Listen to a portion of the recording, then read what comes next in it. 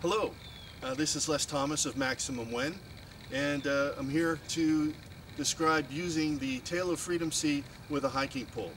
Before you do that, you want to validate your pole to make sure it's strong enough to support your weight.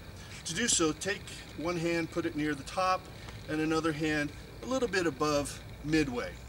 This way you can support your weight leaning on the pole. You can see the pole may flex a little bit, a good hiking pole will, and I've got pretty much 75% of my weight on the pole, which basically validates this will support my weight.